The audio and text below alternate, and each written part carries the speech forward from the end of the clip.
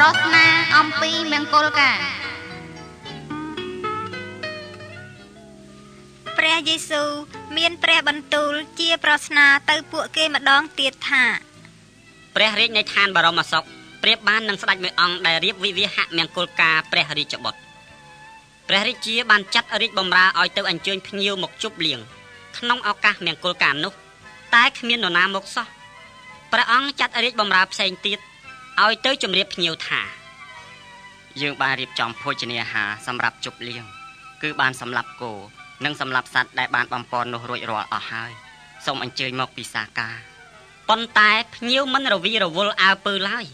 អ្នកខ្លះទៅចំការអ្នកខ្លះទៅធ្វើជំនួញអ្នកខ្លះទៀត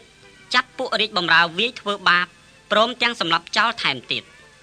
ព្រះរាជាទ្រង់ព្រះពិរោធយ៉ាងខ្លាំងក៏ចាត់ទាហានឲ្យទៅប្រហារជីវិត ឃាតករទាំងនោះ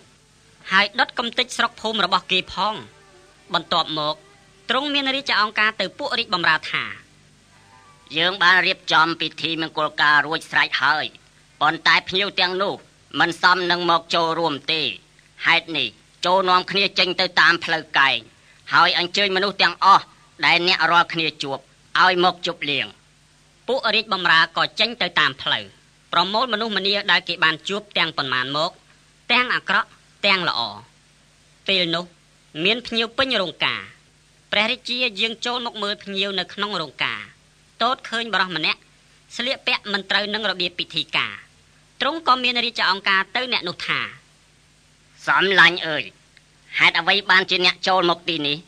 ដោយមិនស្លៀកសម្លៀកបំពាក់សម្រាប់មង្គលការដូចនេះបរោះនោះរោគនិយាយអ្វីមិនចាញ់ឡើយ